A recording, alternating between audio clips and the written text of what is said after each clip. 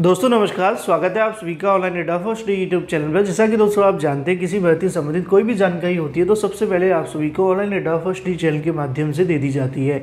इस वीडियो में हम बात करने वाले नई प्राथमिक शिक्षक भर्ती को लेकर।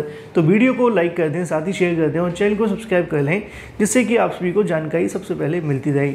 इस वीडियो में हम एक छोटी सी गुड न्यूज़ के बारे में बात करेंगे। छोटी सी इसलिए क्योंकि बहुत लंबे समय के बाद ऐसी गुड न्यूज़ देखने के लिए मिली है। लेकिन जो जानकारी है, वो मैं आप सभी को दूँगा। असल में आप जानते हैं कि प्राथमिक शिक्षक भर्ती विज्ञापन जारी करने के संबंध में लगातार अभ्यर्थी धरना प्रदर्शन और अलग अलग मांगे रखते रहते हैं सरकार के सामने। उसी के संबंध में बेसिक शिक्षा मंत्री संदीप सिंह जी से मुलाकात की गई प्राथमिक शिक्षक भर्ती के अभ्यर्थियों के माध्यम से। यहाँ पे पहले आप सभी उन तमाम फ़ोटोज़ को देख पाए जो कि मैं आप सभी को दिखा रहा हूँ। उसके बाद मैं बताता हूँ शिक्षा मंत्री जी के माध्यम से क्या कहा गया।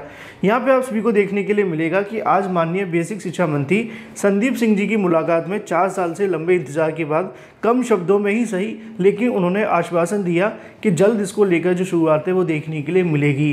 फ़िलहाल आप जानते हैं कि भर्ती का विज्ञापन कब जारी होगा, कब तक निकलेगा, इसको लेकर अधिकारी तो कुछ कर नहीं सकते हैं। अगर कोई कर सकता है तो वो शिक्षा मंत्री या फिर अगर बात की जाए, मुख्यमंत्री। हालाँकि हमारे जो शिक्षा मंत्री होते हैं, वो मुख्यमंत्री के बिना कुछ भी नहीं करते हैं, लेकिन फिर भी आज हुई मुलाकात के अंदर उन्होंने इस बारे में जानकारी दी है कि नई प्राथमिक शिक्षक भर्ती के विज्ञापन के लिए कम शब्दों में उन्होंने आश्वासन दिया है। अब ये आश्वासन सच में बदलेगा या फिर इसी प्रकार हमें और इंतज़ार करना पड़ेगा, ये तो भविष्य में छुपा हुआ है। लेकिन आप लोग अपनी प्रिपरेशन अवश्य करते रहें, क्योंकि आगामी समय के अंदर जब भी भर्ती आएगी तो आपकी तैयारी हमेशा पूरी होनी चाहिए। फ़िलहाल ये बात हो जाती है शिक्षा मंत्री जी के बारे में। उन्होंने आज शिक्षक भर्ती को लेकर कहा है कि जो भी छात्रों की मांग है उनको पूरा किया जाएगा, लेकिन फ़िलहाल जो मामले चल रहे हैं, उनको निस्तारित भी किया जा रहा है।